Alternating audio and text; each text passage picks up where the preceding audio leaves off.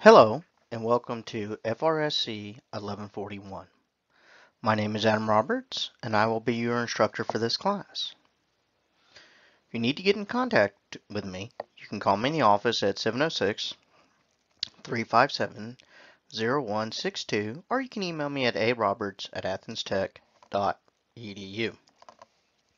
Now even though this is not a live lecture, you can get in touch with me by the email or phone, or you can look in Blackboard Collaborate Ultra and we can do a chat session through my virtual office hours, which are posted in the calendar within the course.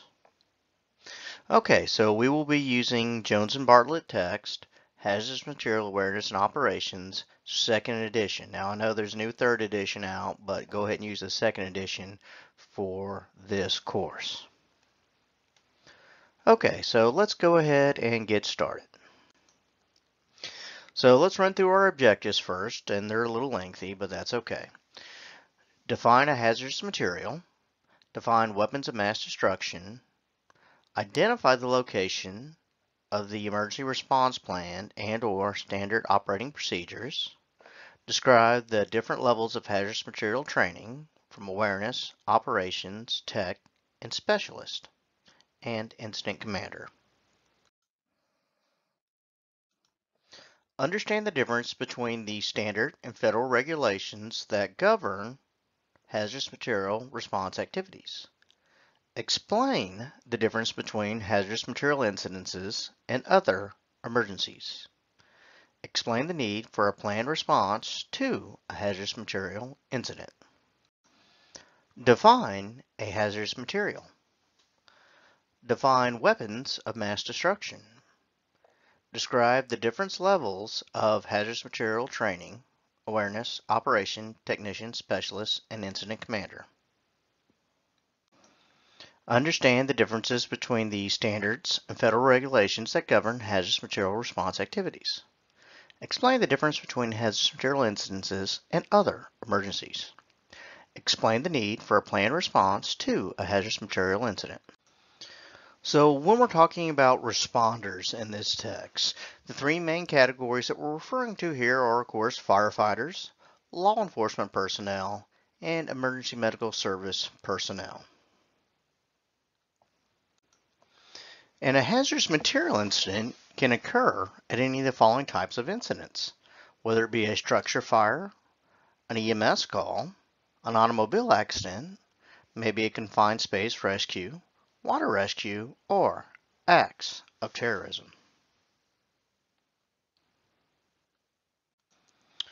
When a hazardous material is involved, we need to take a step back and understand exactly what's going on because this changes the nature of the incident.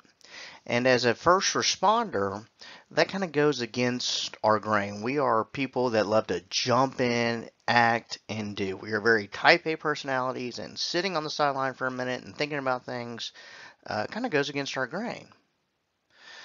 But in order to handle a hazardous material incident, we do need to take a step back, figure out exactly what's going on, what the hazard is, and make sure we got the appropriate equipment to keep ourselves from becoming a victim.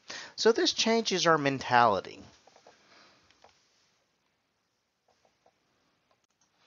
Now the goal of this text in our class are as follows. We want you to be able to recognize hazardous material and WMD incidences, and that stands for weapons of mass destruction. Take initial appropriate action at scene. Implement the incident command system. Use basic reference sources to figure out, of course, what's going on and of course have a good idea of the personal protective clothing that you will need to enter a hazardous material incident.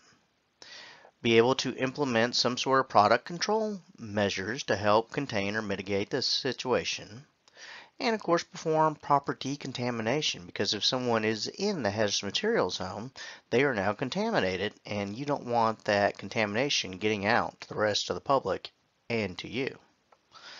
And you need to understand your role in the hazardous material and WMD responses.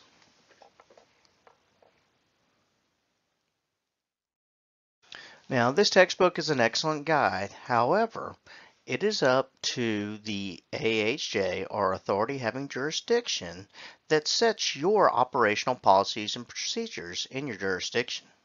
So don't supersede what your, your, your boss or community says just by saying, okay, well, I learned how to do this in my class. Now, throughout this text, there are three major organizations that set recommendations and regulations when dealing with hazardous material incident, and they'll reference these standards throughout the text. So if you want to dive deeper into the standard and get more information and background, feel free to look up these references.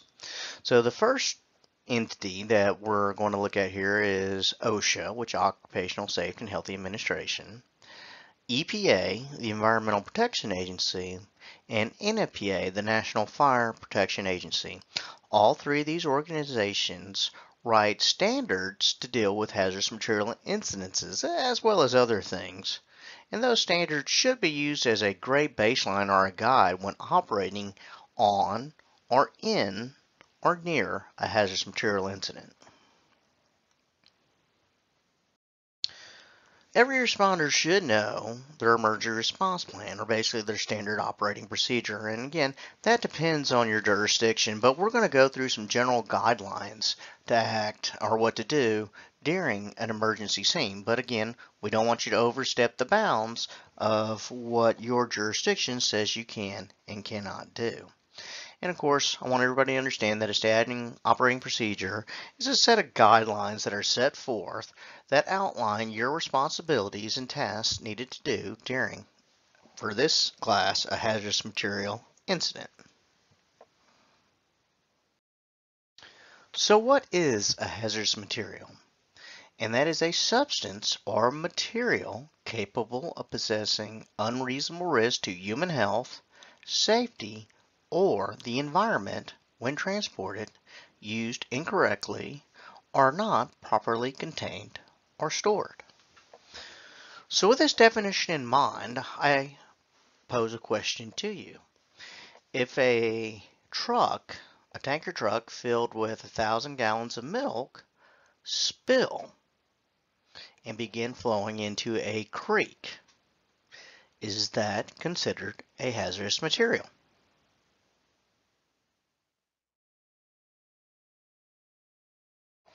Well, for those of you that said yes, that is correct.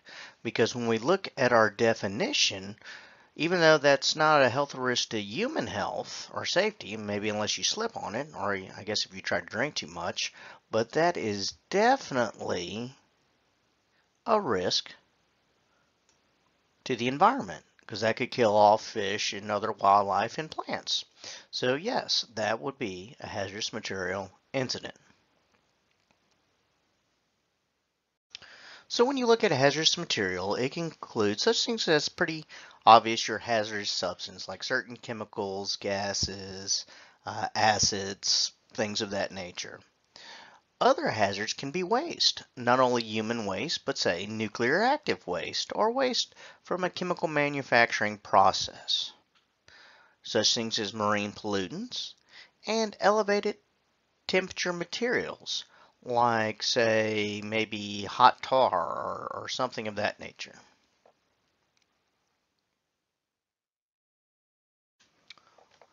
Weapons of mass destruction represent criminal use of hazardous material. And this is basically included in this area can be your illicit laboratories such as your meth labs, environmental crimes, and industrial sabotage to name a few. And later on in this text we'll go through each one of these uh, a little more in depth. So where can hazardous materials be found? And the answer in short is they can be found anywhere. They could be pure chemicals and mixtures that are used to create millions of other products.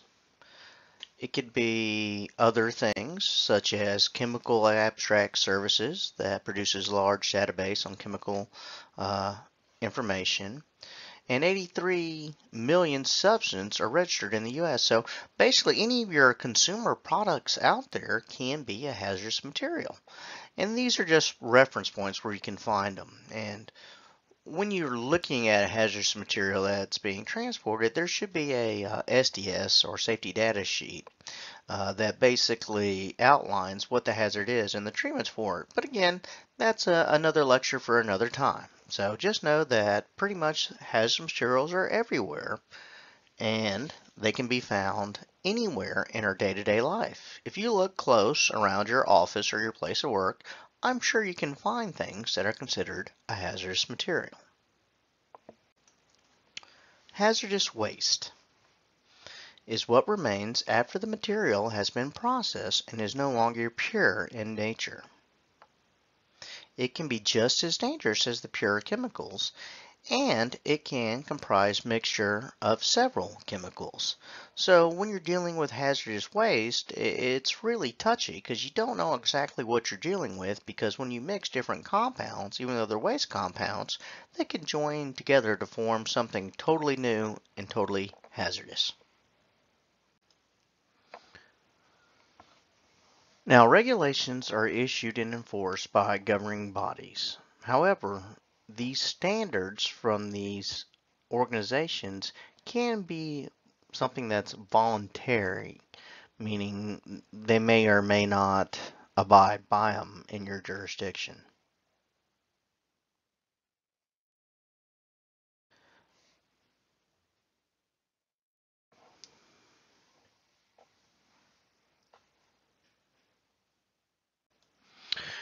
So here are some standards to reference, and one is NFPA 472, which is a standard for competencies of responders to hazardous material and WMD incidences. And competencies basically mean what you should be able to do. NFPA 473 is a standard for competencies for your EMS personnel responding to your uh, hazardous material and WMD incidences.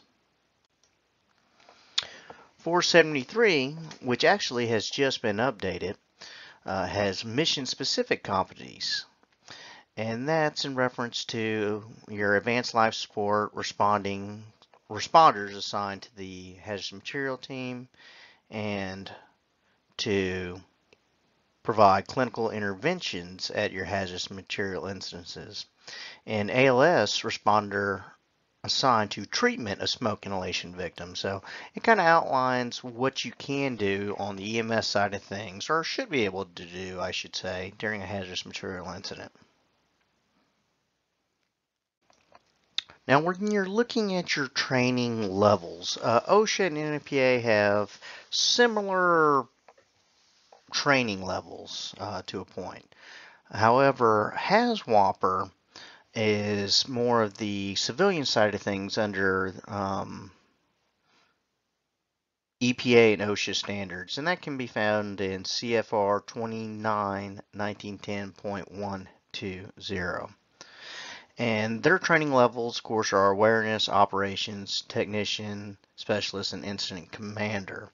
When you're looking at the NFPA standard, you also have the same levels of training.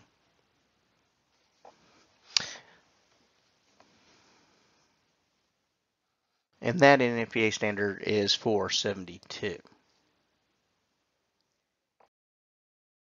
Now, as I said, there are different levels of hazardous material uh, responder training competencies you have the awareness level personnel, and in this course of their normal duties, they could encounter emergencies involving hazardous material, WMD. The awareness level personnel are no longer considered uh, responders per se. And the main focus of the awareness level, of course, is to identify that there is a hazard present. Types of people that are traditionally awareness level personnel are your public works employees and maybe fixed site security personnel. So as an awareness level personnel on scene, you are expected to be able to detect the presence of a hazardous material, identify the substance, use the ERG, uh, the Emergency Response Guidebook, which we have a whole chapter on getting to use that. and be able to initiate and implement protective actions, basically quarantine off the area, and be able to know who to notify and when.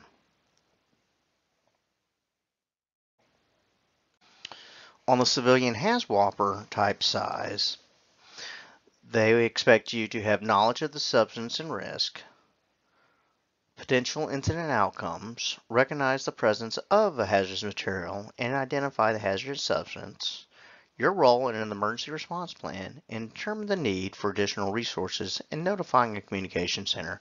So you see the HAZWOPER on the civilian side is very similar to the hazardous material awareness level on the first responder side as dictated by NFPA. Now the operations level responders are tasked to respond to your hazardous material instances for the purpose of implementing or doing supporting actions to protect nearby person, environment, or property from the effects of the release. And we'll go over the competencies here in the next couple of slides. With the operations level responders, they may be trained in a mission specific competency. And what they mean by that is, um, like say air monitoring, that is a specific competency in the hazardous material scheme. So you may be trained to just a, a certain uh, focus, if you will, of the overall scope. So when you're looking at some of our core competencies, we have, and these are all separated according to NFPA, but they are determine the scope of the emergency at the scene, be able to survey the scene, collect information, predict likely behavior of the hazardous material. Also, establish the potential harm, plan response, perform decontamination, observe evidence, and evaluate the response effectiveness. Now, the mission specific competencies are not mandatory.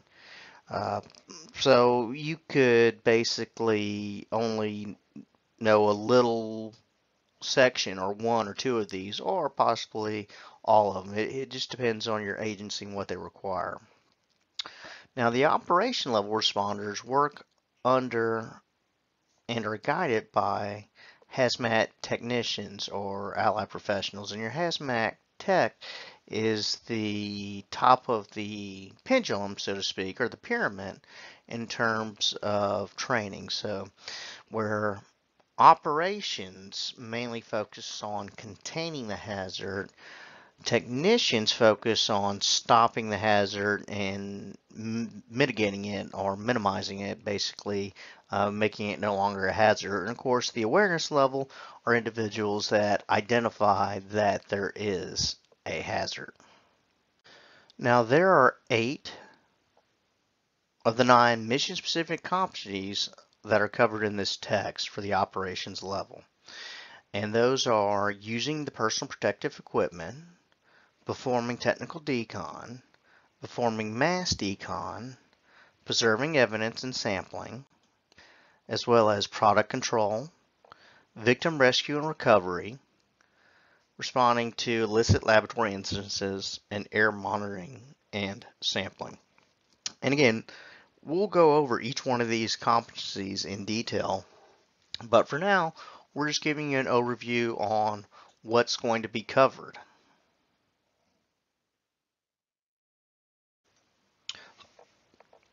So those were all the operation requ requirements under NFPA.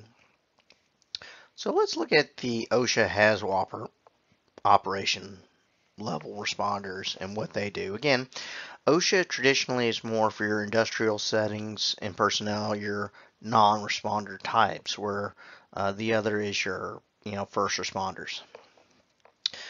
So their tasks are should be able to contain a hazardous material or release and protect nearby persons or property.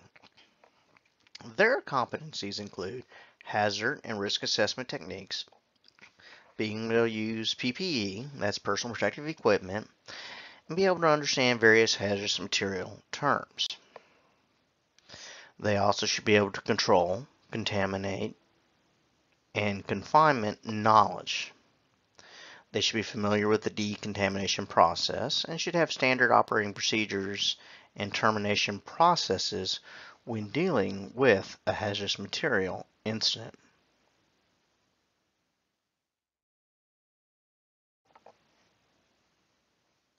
So now NFPA 472 in the technician level.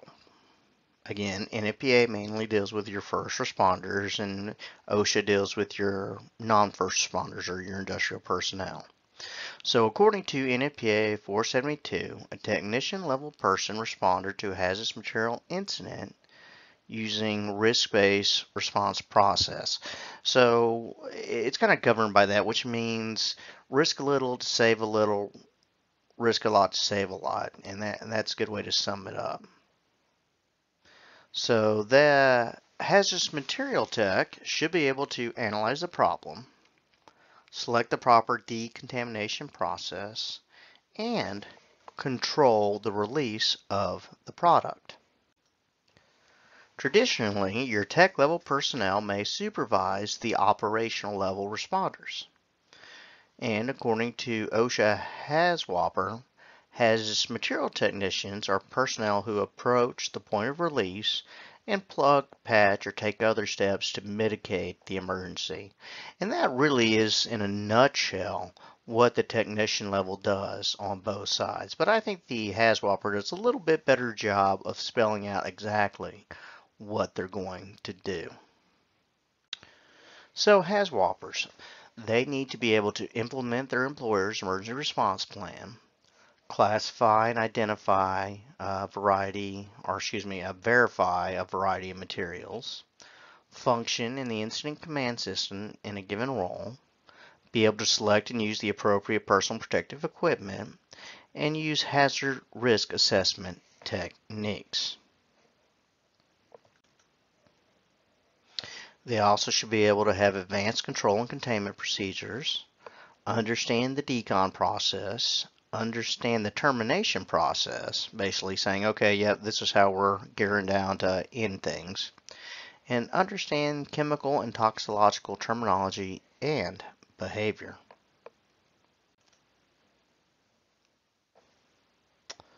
The specialist level of hazardous material technician receives more specialized training than a hazardous material technician, and that's uh, only identified in your HAZWOPER um, standard where NFPA first responder caps out at technician and of course not the specialist.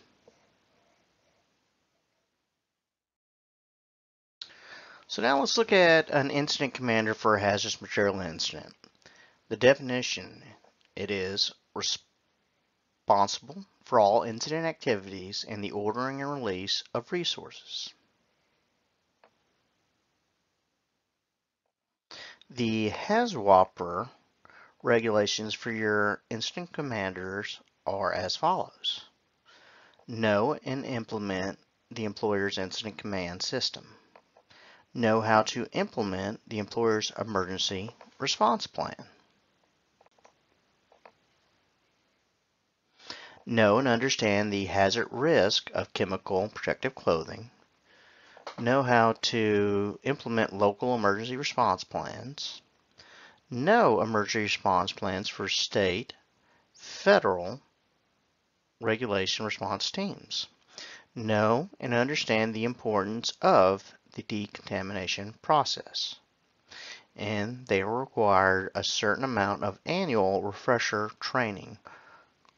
And this can be yearly or bi-yearly, whatever the, the AHJ requires. So now let's look at some other government agencies that play a role with hazardous material. First being DOT, the Department of Transportation. And they promulgate and publish laws and regulations governing the transport of goods by highways, rails, pipeline, air, and even um, certain cases marine transportation.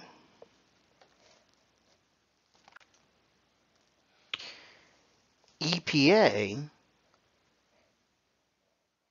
has the uh, Superfund Amendment and Reauthorization Act of 1986. And what that did was it created methods and standards practice for local communities to understand the chemical hazards in the community. Basically, if you're a business and you have some sort of toxic substance, the community needs to know about it. And that's basically referred to in Title III of the Emergency Planning and Community Right to Know Act abbreviated as EPCRA.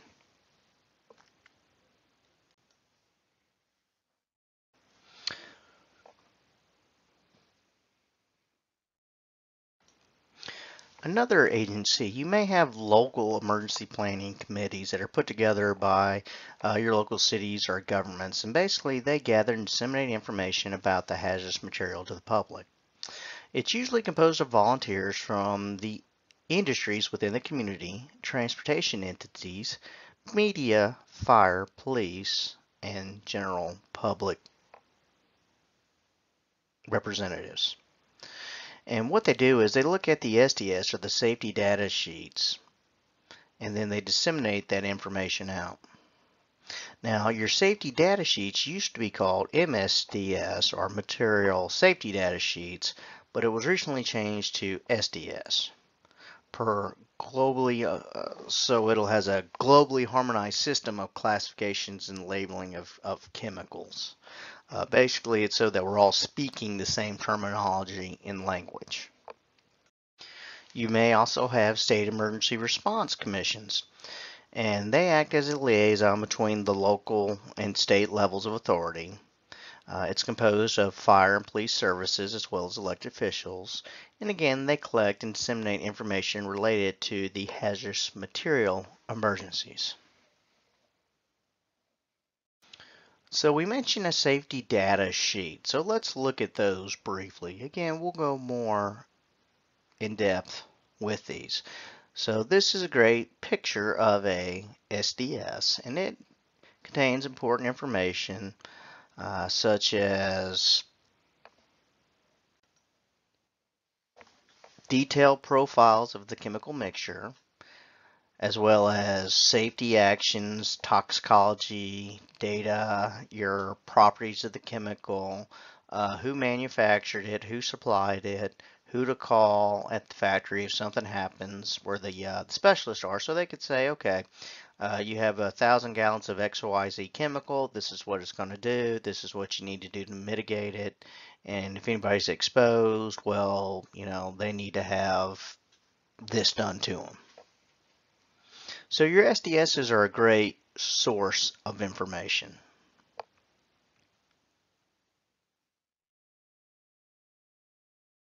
So now let's look at the differences between a hazardous material incident and other types of emergencies. Now, firefighters and first responders should not approach a hazardous material incident with the same mindset used in traditional structural firefighting. Usually, and certainly when lives are not at stake, the response to hazardous material incidents emergencies take more time than it would take to fight a structure fire or maybe a service search warrant or things of that nature. Now here's a caveat. If, when we're looking at the situation, rescue is required or the situation is imminently dangerous, some events may move more quickly. The environment material involved will dictate your response and your tactics used.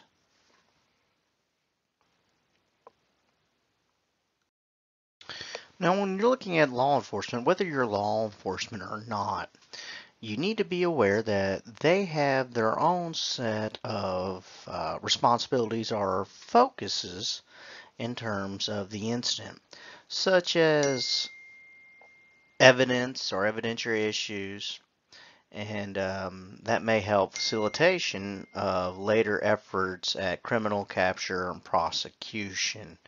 Uh, so, you know, this is quite possibly a crime, and we need to be aware that, hey, law enforcement needs to be able to focus on what happened, who did what, and possibly collect evidence. But again, that's a whole other chapter for another day. This is just a brief overview, and you'll kind of find in this text they, they like to hit things kind of over and over again.